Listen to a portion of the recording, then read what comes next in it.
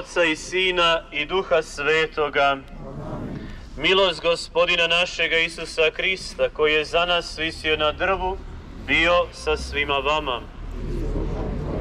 Predraga braćo i sestre, spremamo se da svečano blagoslovimo ovaj novi križ. U vjeri iskažimo poštovanje vječnoj Božoj odluci, po kojoj je otajstvo križa postalo sakramenat božanskoga milosrđa.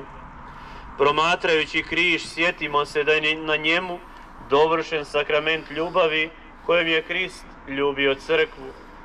Pozdravljajući križ, sjetimo se Krista koji je svojom krvlju uklonio svaku podijeljenost i od različitih naroda načinio jedan Boži narod. Dok častimo križ, sjetimo se da smo Kristovi učenici i da je to ispovjedamo time što svaki pojedinac danomice nosi svoj križ i tako njega velikodušno slijedi. Zato nastojimo ovom slavlju sudjelovati pozorno da bi nam što blistavije sjelo tajstvo križa i da bismo njegovu snagu mogli što djelotvornije doživjeti. Pomolimo se. Bože, Tvoje sina odlasku s ovoga svijeta visio na križu i s Tobom pomirio ljudsku obitelj. Pogledaj ove svoje sluge koji podigoš ovaj znak spasenja, neka zaštićeni njegovom moći svoj križ danamice nose i stupaju putovima evanđelja, te napokon sretno prispiju do nebeskoga cilja po Kristu, gospodinu našemu. Blagoslivljamo te, gospodine sveti oče, što si u svojoj preobilnoj ljubavi iz drveta koje je čovjek nekoć, čovjeku nekoć donijelo propast i pad, providio spasonosni i životni lijek. Gospodin Isus, svećenik, učitelj i kralj, kad je došao čas njegove paske, dragovoljno je uzašao na drvo križa i načinio ga prijestoljem svoje slave, žrtvenikom svoje žrtve, učiteljskom stolicom istine. Na križu je uzdignut nad zemljom, pobjedio staroga neprijatelja i obučen u svoju krv kao u grimiz, samilnosno je sve privukao k sebi. Na križu ti je oče primio žrtvu svoga života i u sakramentu novoga saveza ulio spasonosnu snagu. Ondje je umirući objavio nauk što ga je riječju navještao, da tek umrlo pšenično zrno rodi obilnim rodom. Zato te, gospodine, molimo da tvoji vjernici časte ovaj znak spasenja, ovaj križ kraj putaš i ubiru plodove otkupljenja, što nam ih je Isus Krist svojom mukom zaslužio. Neka vjernici na njegov križ pribiju svoje grijehe i neka snagom toga križa satru oholost i ojačaju svoju slabost. Neka iz njega u tjeskobama crpe utjehu, njemu neka se u pogiblima utječu i njegovom snagom zaštićeni, neka nepovrijeđeni hode putovima svijeta, dok ti, oče, napokon ne primiš ih u nebesku kuću, po Kristu, gospodinu našemu. Tvom se križu klanjamo, gospodine, tebe hvalimo i slavimo tvoje sveto uskrsnuće, jer evo drveta radi nastade radost u cijelome svijetu. Otkupitelja koji nas je po svome križu otkupio s pouzdanjem zamolimo. Kriste koji si samoga sebe oplijenio i uzevši obličje roba postao čovjeku nalik, daj da tvoja crkva nasljeduje tvoju poniznost, molimo te. Kriste koji si samoga sebe ponizio postavši poslušan sve do smrti, smrti na križu, daj svojim slugama krepost poslušnosti i strpljivosti, molimo te.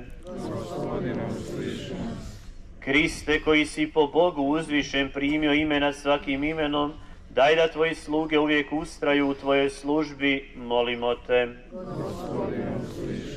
Kriste, na tvoje ime treba da poklekne svako koljeno nebesnika, zemnika i podzemnika, sve nas privuci svome srcu, da te štujemo i vjerno ti se klanjamo, molimo te. Kriste, tebe će svaki jezik slaviti kao gospodina u slavi Boga Oca, Primi našu pokojnu braću u kraljevstvo vječnoga blaženstva, molimo te. Slijedeći riječi i primjere Krista patnika izmolimo molitvu kojom se u vjeri podlažemo volji Boga Oca. Oče naš,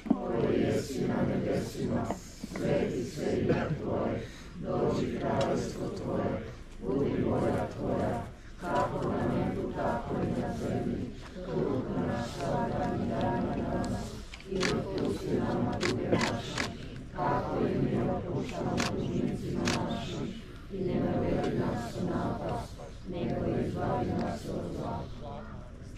Amen.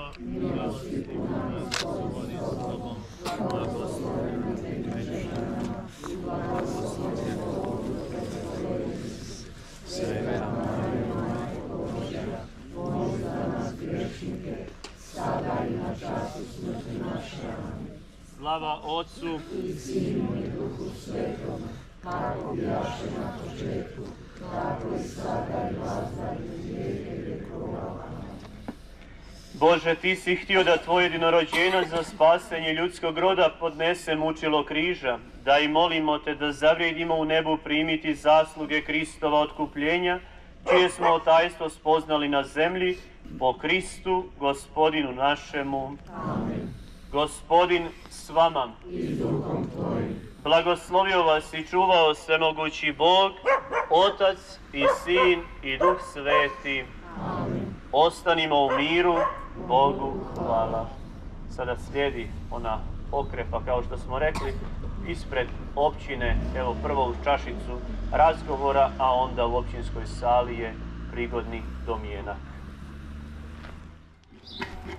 Čega ste taj napravili? Od, šmr, od uh, mesa, junetina, svinjetina i srnetina nešto malo. Šta ide I prvo? pet vrsta gljiva. Luk. Luk se prvo malo prodinsta. Prodinsta se luk. Na ulju malo. Nakon proprži da on pusti svoje. A ne može na svinskoj masti? Pa nema, onda bude masno gore.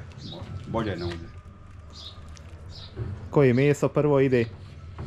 Prvo ide divljač. Zavisi koliko je stara. Ako je starija, prvo se divljač malo više. Naprimjer srna. Sat vremena prije se metne. Onda ide junetina i svinjetina. Mogu i zajedno, a ne moraju. Ali divljač ide prvo, onda se divljač ovako ko nima od rebara, to se otpada sa nje i onda ostane. Unutra meso se raspane e, i to tako se izgleda. A od začina? Paprika. Paprika, gljive, sušeni vrganji i tako. Vegeta ide isto malo unutra i tako svega. Ima li majstor kakav tajni sastojak svoj? Pa, nema tajni sastojak. Ima li ne želite odati, jel tako? gljive koji ne može svako... Ne bi više bio tajni. Svako ne može do- doći do tih gljiva. Evo ove gljive, na primjer, te smrčke, to ne može svako doći do toga. To je jako teško naći i, i skupo je i teško naći. A gdje inače rastu ili samo na određenom području ili... U šumi, pravi smrčak u šumi, inače ima i po kanalima, ali to nije to bolje je po šumi. On je najkvalitetniji.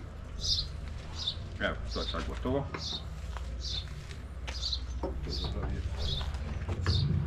Sada jedna od između najboljih. Na umjerenoj vatri, jel tako? Da, da, onako ne smije biti pre, prema, ovaj, pretiha, a ne smije biti prejaka.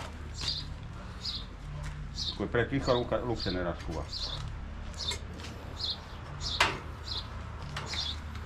Evo ćete probati. Smrčak. Hoćete probati? Hoću. Ajde. Eto, sastavilo se, može tako sastaviti da se ne razdvaja. Svaka čast.